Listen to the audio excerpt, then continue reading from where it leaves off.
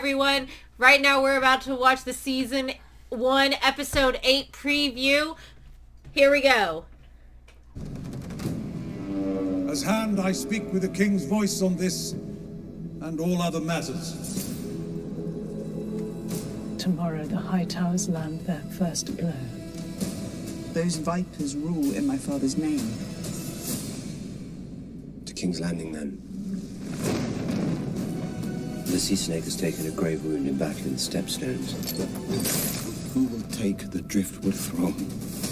The crown cannot stand strong if the House of the Dragon remains divided.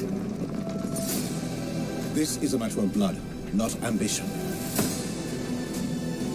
This is a trap. Nephews?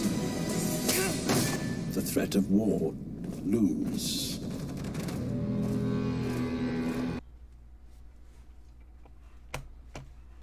Okay.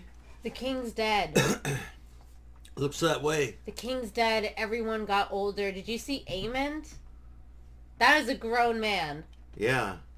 I didn't recognize him at all. You can except only for tell the eye for the patch. eye patch. Yeah. It looked like uh, Daemon with And an great. eye patch. Otto's speaking on behalf of the king. Wonderful. He just decided this is my uh, time to take over. It's officially time for Alicent versus Rhaenyra to really take hold. All right, well, thanks for tuning in, guys. Goodbye.